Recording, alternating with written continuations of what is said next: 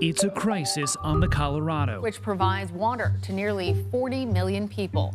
It's leading to historic water cuts. The worst of these cuts are going to hit in Arizona. Guess how much California had to cut? Zero. California and Arizona are fighting each other right now over the Colorado River. But this is not new. It's actually been going on for more than 100 years, and at one point, the two states literally went to war over it. To some extent, this crisis can be blamed on climate change, but that's only part of the story. The US has also been overusing the Colorado River for more than a century, thanks to a Byzantine set of laws and court decisions known as the Law of the River. This legal mess gives out more water than there actually is on the river, and it's driven conflict in the region, especially between the two biggest water users, Arizona and California. And now, as a massive drought grips the region, the law of the river is reaching a breaking point. So we might have a reckoning in this country about how much farming can be done in these deserts out here in the West. The river water sustains some of the largest cities in the country. We need to think about how we grow and if we grow. The Colorado River begins in the Rocky Mountains and winds its way southwest through the United States, twisting through the Grand Canyon and entering the Pacific at Baja California. In the late 19th century, as white settlers arrived in the West, they started diverting the river to irrigate crops, funneling its water through these primitive dirt canals. For a little while, this worked pretty well. They were able to create an industrial farming mecca out of land that the earliest explorers had condemned as quote unquote worthless. Even back then, at the turn of the 20th century, the two biggest users were Arizona and California, who used so much of the river for irrigation that they literally started to dry it out further upstream. Now, according to American legal precedent, whoever uses a body of water first generally has the strongest rights to it. But other states started to get pretty upset over this. California was growing much faster than the other states, and the other states basically said it's not fair that they get to take all the water before we get a chance to develop our own cities. In 1922, the states came to a solution, kind of. At the suggestion of a newly appointed cabinet secretary named Herbert Hoover, they agreed to split the river into two equal sections. They drew a line arbitrarily right down the middle of the river at a spot called Lee Ferry. The states on the upper part of the river, which is Colorado, Utah, Wyoming, and New Mexico, agreed to send the states on the lower part of the river, Arizona, Nevada, and California, 7.5 million acre feet of water. Quick aside, here's what an acre foot is. It's enough water to cover an acre of land in a foot of water. That's enough to supply two average sized homes for about a year. This agreement between the seven states was basically supposed to stop any one state from drying up the river before the other states got a chance to use it. The upper basin got half of the river, and the lower basin got half of the river. Along with this agreement, the government built two massive reservoirs called Lake Powell and Lake Mead to control the way the water flowed down the river, clearing the way for farms and cities to flourish across the US Southwest. There were some serious flaws to this plan. First, the indigenous tribes that had depended on the river for generations were now forced to compete with states to get their share of the water. They had to file these drawn out lawsuits that often took decades to resolve. Many of those tribes still don't have their water. Also, the law of the river overestimated how much water there was in the river in the first place. The state's numbers were based on data from these primitive stream gauges that they'd placed at arbitrary points on the river. They also took samples during an unusually wet decade, which led to a very optimistic estimate of the river's flow. The river only actually averaged about 14 million acre feet per year, but the agreement handed out 15 million acre feet to the seven states. You'll also notice that the Colorado River doesn't end in the United States, it ends in Mexico. And initially, the law of the river just straight up ignored that fact. Decades later, Mexico got squeezed into that initial agreement. They were given another 1.5 million acre feet, which further strained the already overallocated river. This wasn't a problem to begin with because the states didn't actually have the infrastructure they needed to use all that water, but it's set in motion the problem that has emerged today. That the states have the legal right to use more water than there actually is in the river.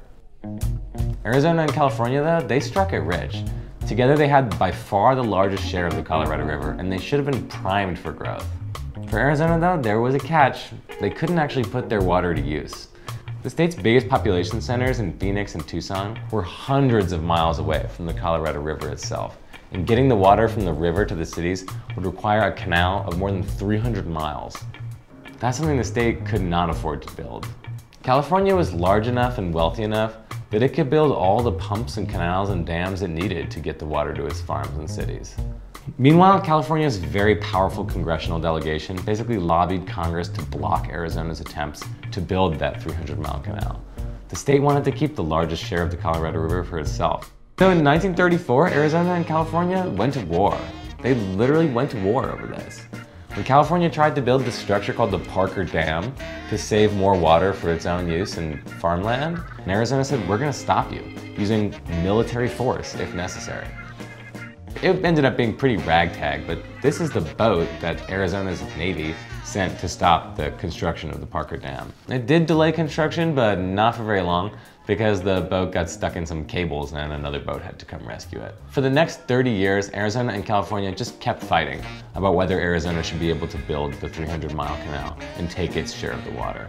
They also ended up suing each other before the Supreme Court no fewer than 10 separate times including in one case that set the record for the longest oral arguments in the history of the modern Supreme Court. The arguments took 16 hours over four days and required more than 106 witnesses. Sounds really boring.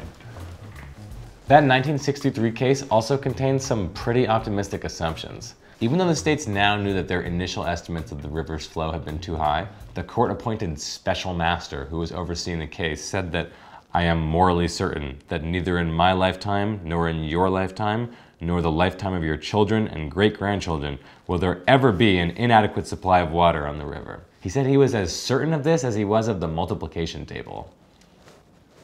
That's really unfortunate. A few years after that court case, in 1968, Arizona finally struck a bargain to get its canal. California dropped its opposition in Congress, and the federal government paid to build the so-called Central Arizona Project, which brought water all the way across the desert to Phoenix. This move not only helped save Arizona's cotton farming industry, which had been running out of water, it also cleared the way for Phoenix to grow into the fifth largest city in the United States. This seemed like a success. Arizona was flourishing. They were doing great. But in exchange for the money to build the canal, the state made a very, very fateful concession. Arizona agreed that if the water levels at Lake Mead and Lake Powell were ever to run low, it would be them, and not California, that would take the first cuts. A quote, mega drought in the southwestern part of the country is putting that region's water supply at severe risk. Historic water cuts to multiple states are now possible. And California, which uses the most, has the right to take its cuts last. Today, more than 20 years into the drought, Arizona has had to bear the largest share of the burden. Thanks to its earlier compromise decades ago, it took the first cuts as part of a nationwide drought plan. This is where we stand now. The Colorado River is averaging about 12 million acre feet per year. That's compared to the 16.5 million that the agreement between the states has doled out. The upper basin has the rights to 7.5 million of those acre feet, or about half, but they don't actually use all that water. They've never used it all. The lower basin, though, they use all their share. California and Arizona take 4 and 3 million acre feet respectively per year. And this overdraft has caused reservoir levels to plummet. If Lake Powell and Lake Mead ever fall below a certain threshold, the hydroelectric dams at both reservoirs would stop generating electricity, which would take power away from a lot of people throughout the West.